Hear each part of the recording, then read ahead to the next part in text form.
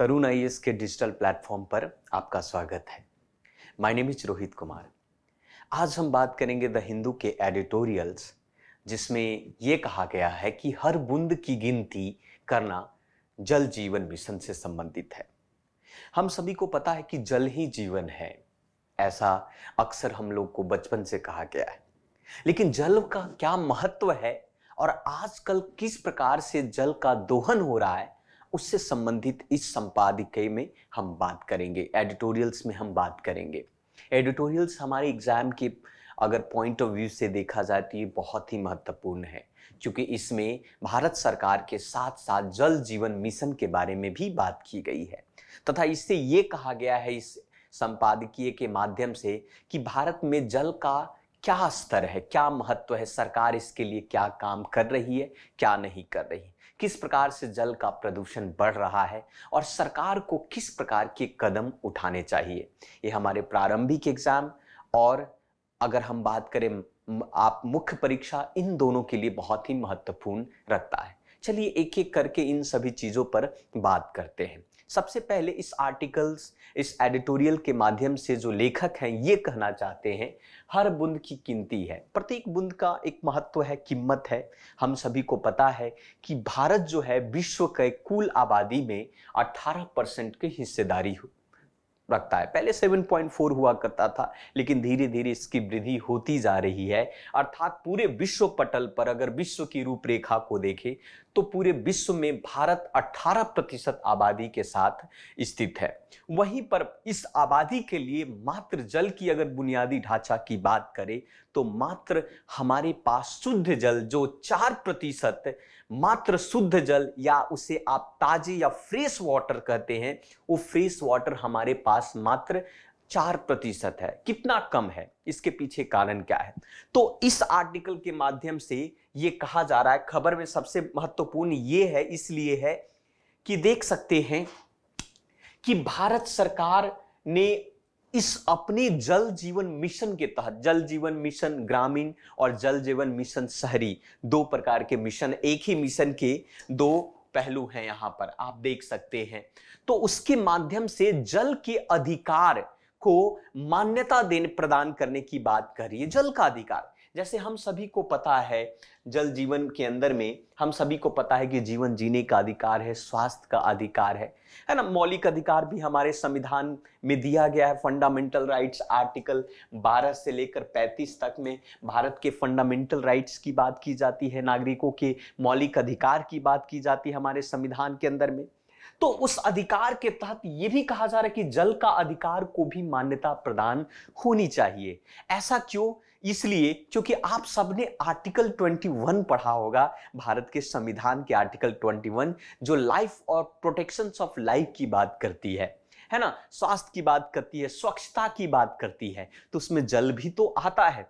तो उन्होंने भारत सरकार ने इस जल के अधिकार से संबंधित करने के लिए ये कहती है कि पूरी तरह से टैप वाटर कनेक्शन एक समीन वितरण प्रदान करने का लक्ष्य रख रही है। पूरे भारत में हर व्यक्ति को स्वच्छ जल मिलना चाहिए। ऐसा भारत सरकार का लक्ष्य है जल जीवन मिशन के तहत। जल ही जीवन है है ना? अगर जल ही जीवन है तो जल, स्वच्छ जल मिलना चाहिए। ऐसा नहीं कि वो जल जो जीवन ले ले, है ना? ये भी तो देखने की ज़रूरत है। तो जल ही जीवन है तो स्वच्छ जल की बात की जा रही है, ना कि प्रदूषित जल की बात कर जा रही है। वहीं पर अगर बात किया जाए कि सरकार का लक्ष्य तो है कि जल जीवन मिशन के तहत ग्रामीण और शहरी में टैप कनेक्शन घर घर तक पहुँचाने की बात करती है। लेकिन जल निकाय का अगर प्रबंधन की बात किया जाए, जैसे सदूषण हुआ, प्रदूषण हुआ, वहाँ पर भूजल का अत्यधिक उपयोग, आप सभी को पता होगा भारत में, दुनिया में सबसे ज़्यादा भूजल का प्रयोग भारत में है। सबसे ज़्यादा भारत के द्वारा वाटर टेबल के माध्यम से पानी प्रोवाइड करवाया जाता है। जिसके कारण से हमारा जो वाटर टेबल है, हमारा जो भूजल का स्तर दिन पर दिन नीचे गिरता जा रहा है। तो यह भी सबसे बड़ी समस्या का कारण है। जल के अधिकार के दुरुपयोग का उजागर भी करता है। साथ साथ में ये भी बात करता है इस आर्टिकल में किस प्रकार से स्थायी जल प्रबंधन की ओर तत्काल सरकार को ध्यान देने की आवश्यकता है। ये ये एडिटोरियल्स के माध्यम से ये बात कही गई है। चलिए हम डिटेल से बात करते हैं और ये हम समझने की कोशिश करेंगे कि वास्तविक रूप से कि आखिर जल का अधिकार आवश्यक क्यों है? तो इस पर हम बात करेंगे, इससे संबंधित चीज़ों पर चर्चा भी करने वाले हैं। तो ये हम देखेंगे, जल के अधिकार क्यों आवश्यक है? आखिर हमारे लिए जो water right of water you important क्यों है? क्यों आवश्यक है? तो सबसे पहले अगर हम बात करें, अधिकार संबंधित सबसे पहले अगर बात आती है तो एक मानवाधिकार की बात आती है। और मानवाधिकार का तात्पर्य क्या है? मनुष्य का अधिकार, जीवन जीने का अधिकार, बेहतर ढंग से रहने का अधिकार, शांतिपूर्वक रहने का अधिकार स्वच्छता पूर्वक रहने का अधिकार, इसी की तो बात कहा जाता है। तो संयुक्त राष्ट्र महासभा जिसे आप यूनाइटेड नेशन जनरल असेंबली कहते हैं, उसने स्पष्ट तौर पर यह कहा है कि जल जल के रूप में, स्पष्ट रूप से यह कहा है कि जल और स्वच्छता के मानव अधिकार की मान्यता दी जाए। जल और स्वच्छता, क्योंकि ज़्यादातर बीमारियाँ जो है जल से होती है। है ना?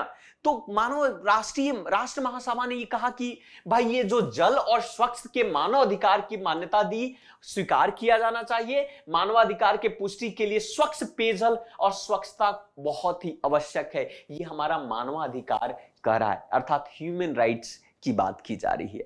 लेकिन यहीं पर अगर हम बात करें, जीवन के अधिकार की अगर परिधि की बात करें, भारत के अंदर की बात करें तो आप सभी को पता होगा कि भारत में हमारे संविधान के अंदर आर्टिकल 21 में भी इस बात को कहा है।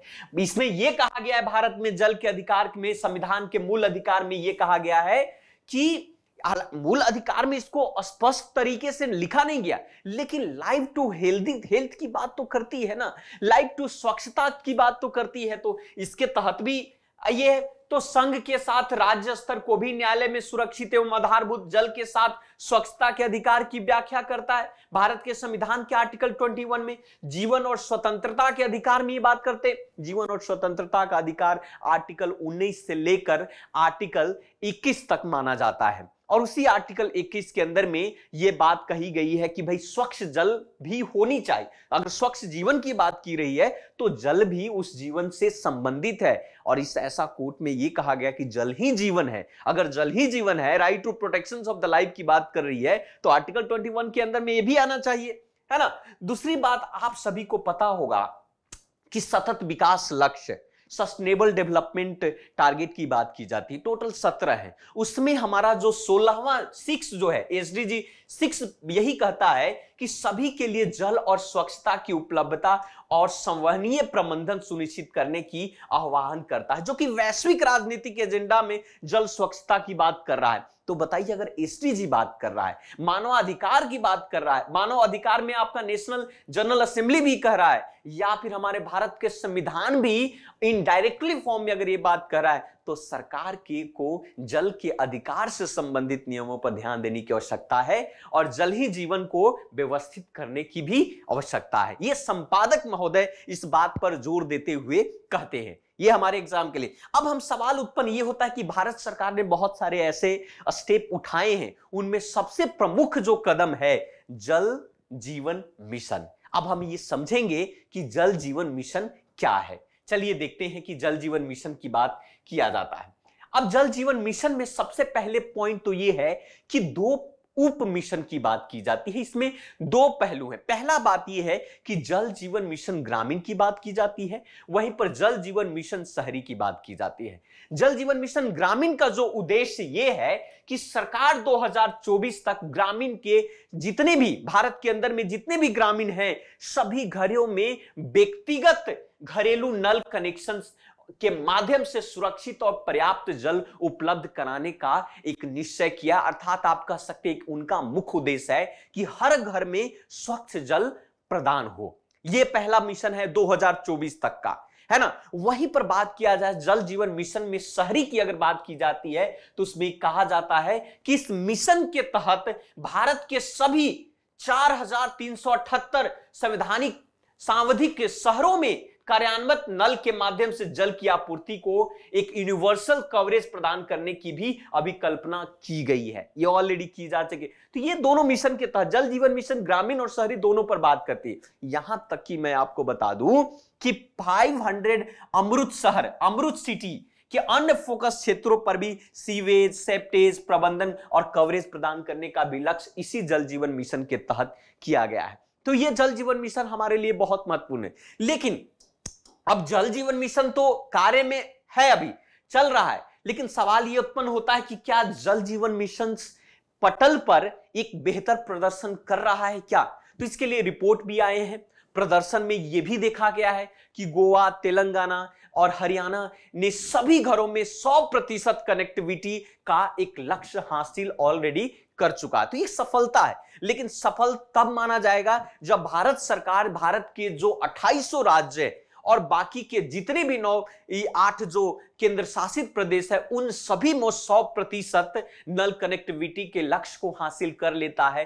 ये हमारा जल जीवन मिशन सफल हो जाएगा। फ़िलहाल अगर प्रदर्शन की बात करें तो गोवा, तेलंगाना और हरियाणा के सभी घरों में 100 प्रतिशत नल कनेक्टिविटी का लक्ष्य हासिल ऑलरेडी कर चुका है। लेकिन अगर वही बात करें, कुछ केंद्र शासित प्रदेश, जैसे आपका पुडुचेरी हुआ, अंडमान और निकोबार हुआ, लक्षद्वीप सबू हुआ, दादर और नगर हवेली और दमन दीव जैसे केंद्र शासित प्रदेश ने भी अपने घरों में सौ प्रतिशत घरों में नल जल कनेक्शन का किया है। तो यह भी एक सफलता कहा जा सकता है। परंतु ये अधूरा है।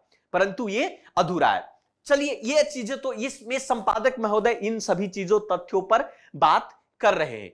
सबसे प्रमुख बात यह है कि इसमें जब रिपोर्ट जारी किया गया, केंद्रीय जल संसाधन मंत्रालय ने रिपोर्ट जारी किया और इस रिपोर्ट के माध्यम से तीन तत्वों को देखा, उन्होंने ऑब्ज़र्व किया। सबसे पहला बात तो यह है कि इस रिपोर्ट के माध्यम से उन्होंने कहा कि भारत में लगभग बासठ प्रतिशत ग्रामीण परिवारों के पास अपने परिसर के भीतर पूरी तरह कार्यान्वित नल जल कनेक्शन मौजूद है। अर्थात अभी 100 प्रतिशत तो नहीं, लेकिन बासठ प्रतिशत जो है उनके पास जल कनेक्टिविटी है। मतलब कह सकते हैं कि प्रति व्यक्ति प्रतिदिन कम से कम 55 लीटर जल की क्षमता होनी चाहिए, ऐसा केंद्रीय जल संसाधन मंत्रालय का रिपोर्ट कहता है। वहीं पर इस रिपोर्ट ने इस बात पर भी ज़ोर दिया है कि यद्यपि रिपोर्ट में क्लोरीन सदूषण के एक संबंधित संबंधित समस्या का भी उल्लेख किया गया है कि जल तो उपलब्ध है, लेकिन जल में जो लवण है, अनिष्ट तत्व है जो हमारे शरीर के लिए हानिकारक हो सकते हैं।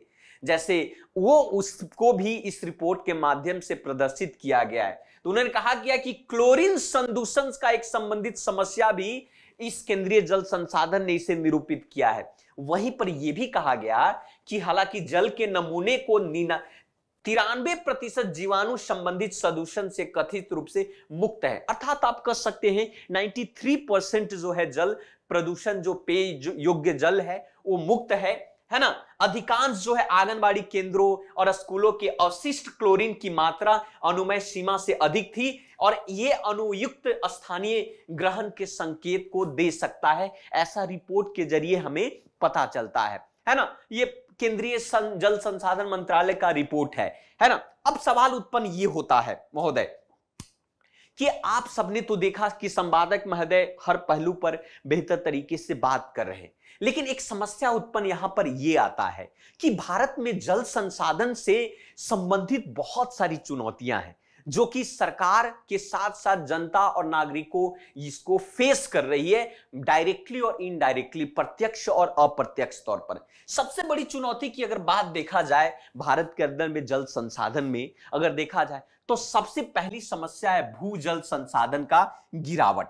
जिस प्रकार से भारत के अंदर में भूजल संसाधन का गिरावट हो रहा है, हमने कहा कि विश्व में सबसे ज़्यादा भूजल का दोहन भारत के अंदर में किया जाता है और भारत इसका प्रयोग कृषि के लिए करता है।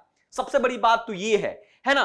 तो सबसे पहला समस्या भारत के अंदर में है आपका भूजल संसाधन का गिरावट स्तर और दूसरा है बढ़ता जल प्रदूषण। है ना? वाटर पॉल्यूशन एंड तीसरी सबसे बड़ी है कि जलवायु परिवर्तन के कारण भी जल प्रणाली में अनियमितता आ रही है इरिगुअलिटी आ रही है, और चौथा जो है कुशल अवशिष्ट जल प्रबंधन का अभाव। ये चार सबसे प्रमुख मुद्दे हैं, ये चार सबसे प्रमुख जल संसाधन से संबंधित चुनौतियाँ हैं जिसे भारत सरकार को निपटारा करने की आवश्यकता है, ऐसा हमारे संपादक महोदय कहते हैं। चलिए एक एक करके इन सभी चुनौतियों पर हम बात करेंगे। जब आपका मुख्य परीक्षा आएगा, उस मुख्य परीक्षा में इसी तरीके से आप उसको, आप लिख सकते हैं, है ना? तो शायद आपका जो प्रश्न का उत्तर बहुत ही ब्यूटीफाई हो सकता है। चलिए एक एक करके इन सभी चुनौतियों पर बात करते हैं। सबसे पहले भूजल संसाधन का गिरावट स्तर की बात करते हैं। ये देखिए आप, भूजल, भू संसाधन का गिरता स्तर को लेकर काफ़ी चिंताजनक आप सभी को पता है कि पृथ्वी के अंदर का जो भू जल है, वो जल भी वर्षा से ही प्राप्त होता है, नदियों से प्राप्त होता है है ना? आसपास के तालाबों से प्राप्त होता है। परंतु आज ये चिंता का जो एक तरीके से आप कह सकते हैं कि जिस प्रकार से तीव्र शहरीकरण हो रहा है, जिस प्रकार से तेज़ी तरह से अर्बनाइजेशन हो रहे हैं उससे अनियंत्रित भूजल का निकासी के कारण जो है, ये मूल्यवान संसाधन दिन पर दिन नीचे गिरता जा रहा है। ये बहुत ही चिंता का विषय आप ये देख सकते हैं कि तीव्र शहरीकरण से प्रेरित अनियंत्रित भूजल निकासी के कारण इस मूल्यवान संसाधन में काफ़ी गिरावट आ रहे हैं। वहीं पर आप खास करके उत्तर पश्चिम भारत की अगर बात किया जाए, उत्तर पश्चिम भारत की अगर हम बात करते हैं तो उस उत्तर पश्चिम भारत में अधिकांश भागों में, खास करके पंजाब, हरियाणा और ये जितने भी इलाका है, राजस्थान और ये इसमें उत्तर पश्चिम भारत के अधिकांश भागों में अब भूजल जमीनी स्तर 100 मीटर से भी नीचे चला गया है।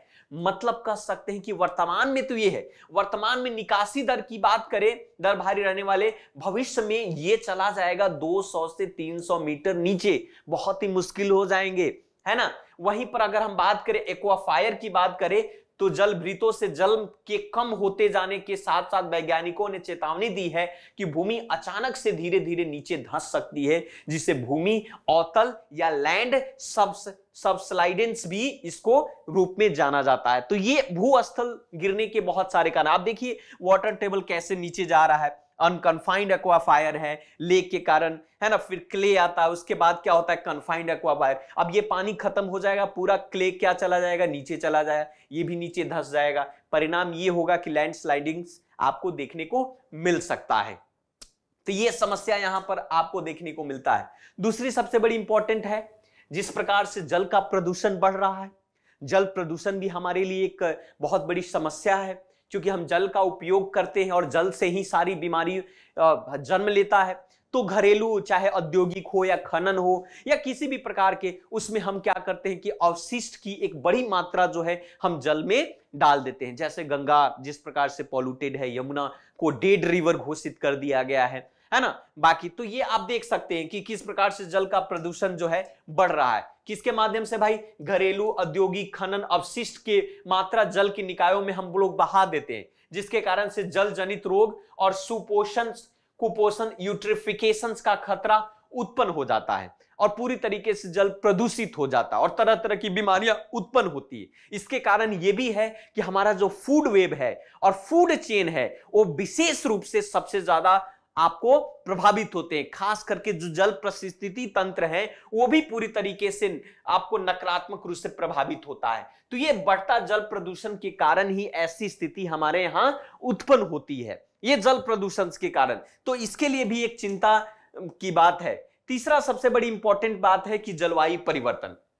आप सभी को पता है कि किस प्रकार से जलवायु में परिवर्तन देखने को मिल रहा है। हर साल एक नए परिवर्तन देखने को मिल रहा है। इस बार मानसून जो है, अक्टूबर में जाने चाहिए था, सितंबर के शुरुआती में ही चला गया।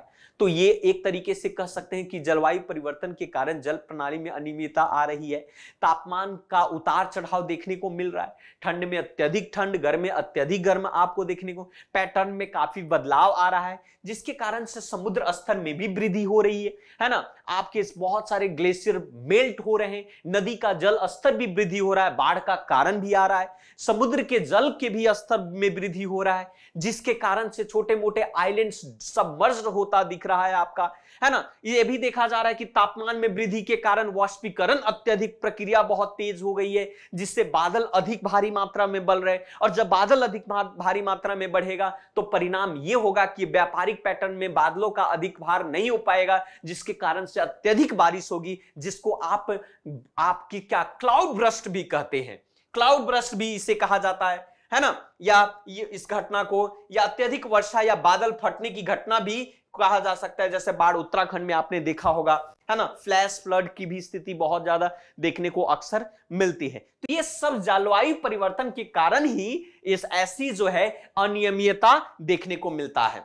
आगे की बातों में संपादक महोदय इस बात पर भी चर्चा करते हैं कि इन सभी का एक कारण और भी है कुशल अवशिष्ट जल का प्रबंधन का अभाव। हमारे यहाँ जो मैनेजमेंट है वाटर मैनेजमेंट की अगर हम बात करें एक तरीके से एक इफिशियंट नहीं है। कुशल अवशिष्ट जल प्रबंधन का अभाव भारत देश के अंदर में है। भारत में जो जल संसाधन की जो आ, कम आपूर्ति के साथ साथ असक्षम अवशिष्ट जल प्रबंधन को देखा गया। आर्थिक उपयोग कर सकने वाले देश में क्षमता की कमी है बहुत सारा। परिणाम ये अभी केंद्रीय प्रदूषण नियंत्रण बोर्ड ने एक रिपोर्ट मार्च 2021 में प्रकाशित की थी और इस रिपोर्ट के अनुसार से यह कहा था कि भारत की वर्तमान जल उपचार क्षमता जो है 27.3 प्रतिशत और सीवेज उपचार क्षमता 18.6 प्रतिशत मात्र है। आप बताओ 100 प्रतिशत प्रदूषण हो रहा है और उसमें से मात्र 27.3 प्रतिशत आप उसका उपचार कर रहे हैं जल का और 18.6 परसेंट आप उपचार करें। सीवेजेस का, सीवेज का तो इसके कारण से अवशिष्ट जल प्रबंधन का अभाव की कमी तो हो, अभाव तो होगी। अधिकांश सीवेज उपचार संयंत्र जो है, अधिकतम क्षमता पर कार्य नहीं कर सकता है। नियंत्रित निर्धारक मानकों के अनुरूप में भी काम नहीं कर सकता है। तो इसके कारण से आप कह सकते हैं कि भारत में कुशल अवशिष्ट जल प्रबंधन नहीं है। इसके कारण से भी हमारे यहाँ जल प्रदर्शन दिन पर दिन बढ़ता जा रहा है। अब चलिए बात करते हैं लास्ट पॉइंट निष्कर्ष पर बात करते हैं कि क्या हुआ? निष्कर्ष में ये कहा, प्रश्नों के उत्तर में आप इस चीज़ों को लिख सकते हैं। सबसे पहला काम तो ये होगा कि आपको भी केंद्रीकृत जल उपयोग ऑडिट कराना होगा। डिसेंट्रलाइजेशन आपका वाटर नीड का ऑडिट कराना होगा। भारत में एक समर्पित जल उपयोग ऑडिट तंत्र बनाने की आवश्यकता है, जिसके माध्यम से जो है जागरूकता की कमी है, अति प्रयोग, जल निकाय प्रदूषण के कारण स्थानीय स्तर, जल वितरण प्रणाली, इन सभी चीज़ों को मद्देनजर रखते हुए आप भी केंद्रीकृत जल उपयोग ऑडिट की आवश्यकता है, ताकि और। दूसरा सबसे बड़ा है स्थानीकृत जल संसाधन प्रबंधन की भी व्यवस्था होनी चाहिए। जैसे कि जल जीवन मिशन की भूमिका जो है, दोहरे दृष्टिकोण से देखा जाना चाहिए। जल संसाधन की आपूर्ति प्रबंधन और सहवनीयता या स्थिरता दोनों बल दिया जाना चाहिए, क्योंकि जल जीवन जल जीवन शब्द स्वयं में जल के जीवन का भी प्रतीक है। मानव के स्वस्थ जीवन की कल्पना तभी हो सकती है जब वह जल के स्वस्थ जीवन के साथ सामंजस्य स्थापित कर सके। तो ये संपादक के माध्यम से जल जीवन मिशन पर ज़ोर देने की बात कही जा रही। ये हमारे एग्ज़ाम के लिए बहुत ही महत्वपूर्ण हो सकता है और ऐसा प्रश्न जो है मुख्य परीक्षा और प्रारंभिक परीक्षा में पूछे जा सकते हैं। तो ये बहुत ही तो आज के लिए इतना ही। मिलते हैं फिर से दूसरे वीडियो में। थैंक यू वेरी मच धन्यवाद। इस चैनल को सब्सक्राइब ज़रूर करें।